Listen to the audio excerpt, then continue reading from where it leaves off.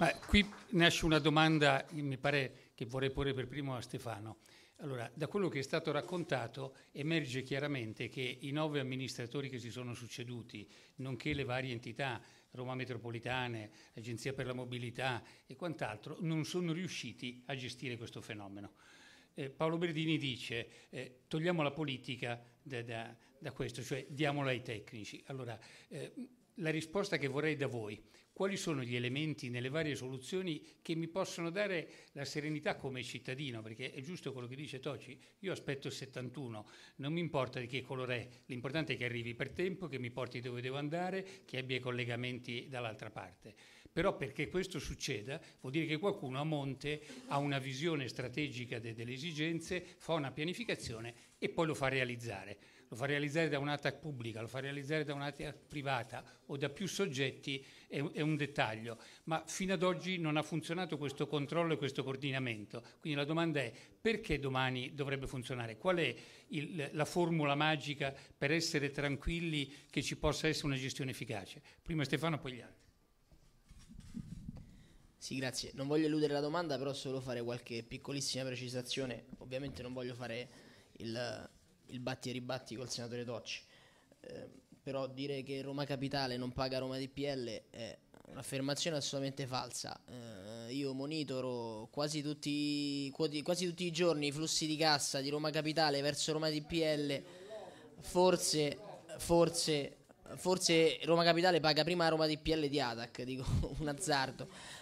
Il lodo, del, il lodo, il lodo però, allora, quando la Roma TPL nel 2010 ha vinto la gara, eh, si è aggiudicata, ha vinto poi l'unico partecipante, si è aggiudicata la gara, se l'è aggiudicata sulla base di un contratto di servizio e sulla base di un corrispettivo chilometrico, non sulla base del vincolo o non vincolo il lodo, perché il lodo la Roma TPL poteva anche perderlo paradossalmente, quindi che facciamo? Se la Roma TPL perdeva il lodo automaticamente non, non mi gestiva il servizio. Il lodo è un aspetto completamente separato dalla gestione de, de, della, della Roma TPL che ha un contratto di servizio eh, come diceva prima Berdini, forse anche abbastanza conveniente perché poi non ci dimentichiamo che Roma TPL non dipende dai ricavi a differenza di Atac. Roma TPL viene pagata flat a chilometro e molto spesso su chilometri fatti eh, in periferia dove chiaramente la velocità commerciale è più alta e quindi eh, chiaramente è anche meno eh, costoso gestire quelle linee. Non dipende dai ricavi quindi in periferia o, una, o sale una persona o 10 a Roma TPL eh, gli, gli interessa poco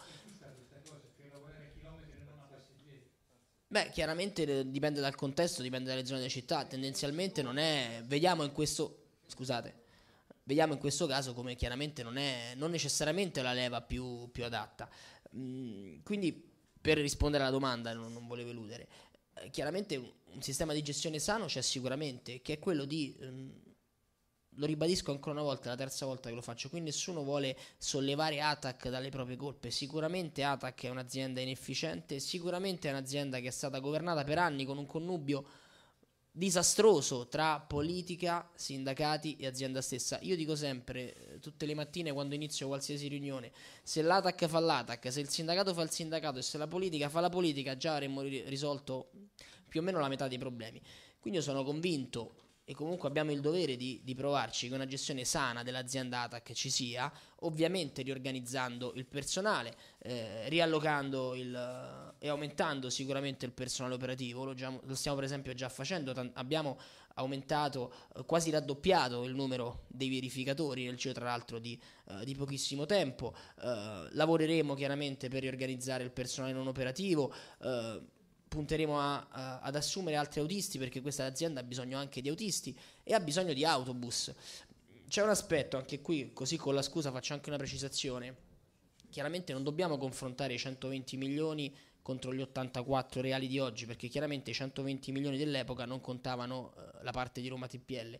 Confrontiamo i 101 con gli 84, chiaramente, eh, chiaramente è vero, ma non dimentichiamoci che questa azienda dal 2007 al 2013 non ha acquistato neanche un autobus, che è un aspetto um, devastante. Io lo, lo, dico sempre perché no, no, non è aggravante, è che dire che chiaramente quando si fa eh, il paragone con Cotral, che chiaramente se andiamo a ponderare i fondi del Fondo regionale trasporti con i chilometri che fa ATAC e i chilometri che fa Ancotral, secondo me eh, qualche dato interessante lo potremmo trovare. Però se questa azienda, e non è che dipende da ATAC, ovviamente dipende dalla politica, se non si acquistano degli autobus, è chiaro che poi è un'azienda che sarà in difficoltà. Allora io dico, mettiamo ATAC nelle condizioni di correre, mettiamo ATAC nelle condizioni di uh, poter gareggiare, perché altrimenti così è facile dire che, che ATAC, uh, che ATAC non, uh, non funziona. Paradossalmente la ricetta è semplice, acquistare autobus Uh, assumere autisti, ricollocare il personale oggi uh, talvolta collocato sicuramente male all'interno dell'azienda. Mi sento di dirlo, non è uno slogan, lo stiamo facendo proprio in questi giorni, è stata pubblicata la gara per l'acquisto di, dei primi 320 autobus che arriveranno nei prossimi uh, tre anni, diverse operazioni sul personale già si stanno facendo, dall'aumento dei verificatori e così via. È un percorso difficilissimo, non penso di avere la verità in tasca, però penso che sia doveroso provarci proprio perché se l'azienda dalla politica eh, in passato eh, magari è stata gestita in maniera eh, poco oculata è invece opportuno che adesso la politica si prenda le proprie responsabilità, si rimbocchi le maniche e cerchi di farla funzionare. Cioè?